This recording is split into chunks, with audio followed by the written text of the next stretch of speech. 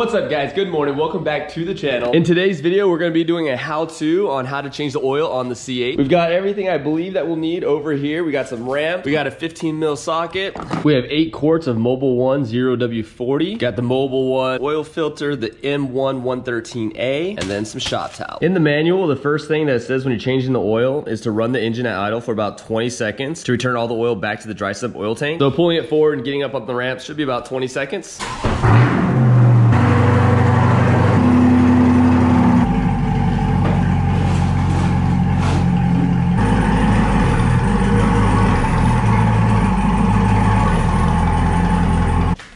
good? good.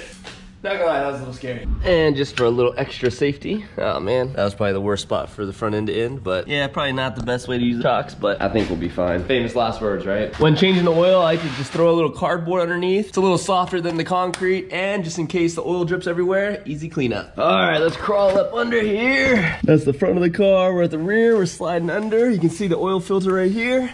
I believe that hole has the drain plug. Indeed it does. So what's really cool about this drain plug is that's a T15, but in the middle it's a Torx. Just in case you strip the outside, you got a backup plan. All right, so we're gonna get our oil pan ready. We're gonna loosen up the T15. It shouldn't be hot. We just ran it for about 20 seconds. All right, so we got it loosened up to where I can turn it with my fingers. All right, here she comes. It's a little warm, not too bad. We're gonna take the bolt and inspect it. There's an O-ring on it. Oh no, let's see, let me pop this Well, that was almost bad. Make sure you uh, get some airflow in here or it's gonna overflow. And I believe we're getting rid of seven to eight quarts, which is 10 quarts, so it's plenty. All right, so here's our bolt. This is the longest drain plug bolt I've ever seen in my life. In the manual, it says to inspect the O-ring and replace it if it's damaged.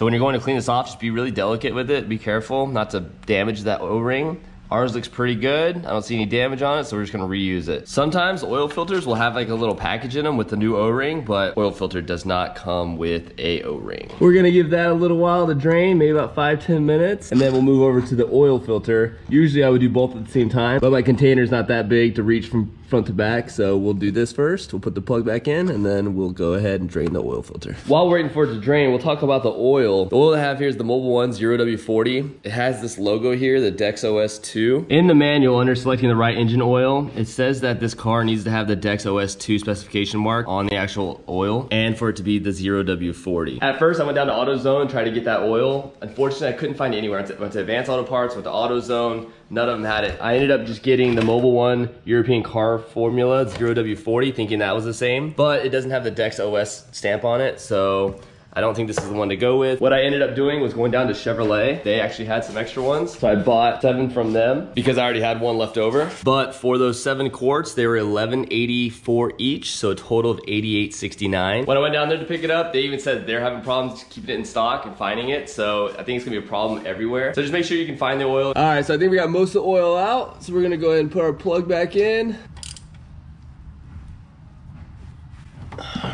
Got her tightened down snug. Get the bolt all wiped down just so we can check a little bit later and see if anything's leaking. All right, so check out the oil filter. You have a little, some kind of cooler or something right next to it, so be careful. Don't cut your hands up or anything, but let's get this thing out of here. Uh, there we go. All right, got the oil filter loose. Let's see here. Let it drain a little bit there.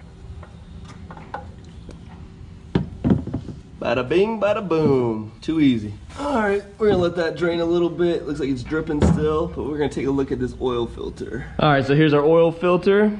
Nice and clean, you don't see any contaminants, no metal, no shaving, no nothing, so it looks really nice. Here's our replacement filter. Oh, our old one was an AC Delco, had six holes up top. Our new one is a Mobil 1 with about, looks like eight holes up top. I was always taught, grab some oil, probably some fresh oil, but just go ahead and lube up the seal there before you tighten this thing on the car. And I also always was taught to prime your filter, so just go ahead and fill this up about halfway. So that way the motor is not trying to feed that and prime that while it's trying to get oil to the rest of the motor on startup. And in case anybody's wondering what it looks like up in here without the filter, and let's take a look. This is where your oil filter attaches to. Trying to go and clean all this up a little bit, get getting excess out of here off. That way we can take quick look at it and see if it's uh, leaking any oil. All right, we're gonna get our primed oil filter. We're gonna shove it up in here. All right, Spin her on there, get her nice and snug as best you can.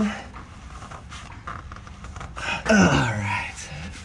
And clean up any oil residue underneath.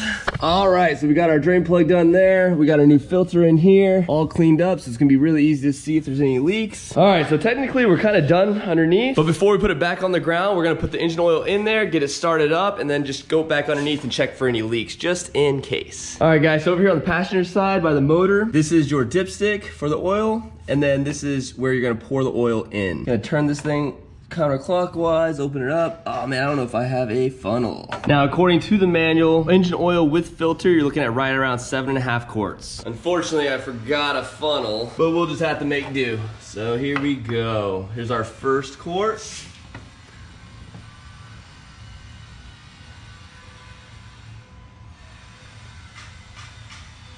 Look at there. Perfection. Let's see if I can do that seven more times. And then I just like to leave it there and let it just drain out for a second. I'm gonna repeat that about seven more times and then we'll go and get it started up and then check for any leaks underneath. All right, we just put our seventh quart in. I'm gonna put about half of this quart in there. A little bit more. Here we go. I'm gonna put that cap back on. All right, so according to the manual, in order to check the engine oil, you need to go ahead and turn the car on, get it warmed up to about 175 degrees. While the engine is warm and running, you're gonna come on over to the dipstick here and check the engine oil level. All right, let's jump in her and get her started up and warmed up. I don't know if I have anything on my back or butt, so I'm gonna throw a towel in here and then we'll get her started up here.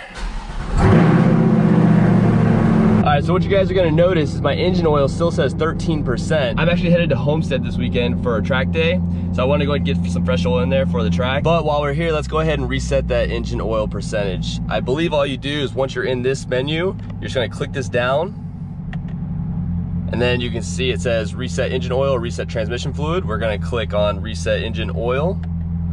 Reset engine oil, would you like to reset your values now? Yes. All right, so our engine oil is at 100% now. Gonna let her warm up a little bit till we get to about 175 degrees. I'm gonna put her in track because I believe in track mode, it shows you your engine oil temp. Yep, right there, 100 degrees engine oil temp. So we're gonna let that jump up to 175 and then we'll check the engine oil level. We're getting close, we're at 169 water temp and oil temp at 136. In the meantime, let me show you guys where that menu was for your oil life percentage. So you're gonna scroll over to the right till you get to the fourth tab it's the maintenance tab. And then you just got engine oil and transmission fluid. Too easy. And again, to reset it, all you do is press down on that and it's gonna ask you which one you wanna reset. All right, we're sitting at 149 178 water temp. I'm gonna get underneath the car, check for uh, leaks one more time, and then we'll get it set on the ground and check the oil level. All right, let's slide under here one last time. That looks clean, and that looks clean. Should be good to go.